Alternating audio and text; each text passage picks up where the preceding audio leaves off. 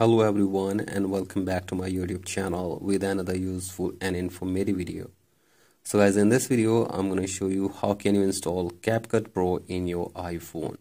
So guys if you want to install CapCut Pro in your iPhone here I will show you how can you do this. So as for that simply open your app store and you have to search here for CapCut. So guys search here for CapCut and now you have to download and install the latest version of CapCut in your device. So guys download it and after this open your app. And from here you have to simply go to your profile. So guys open your profile.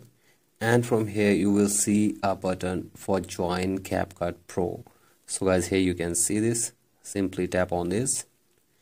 And from here you can easily get CapCut Pro for your iPhone from here.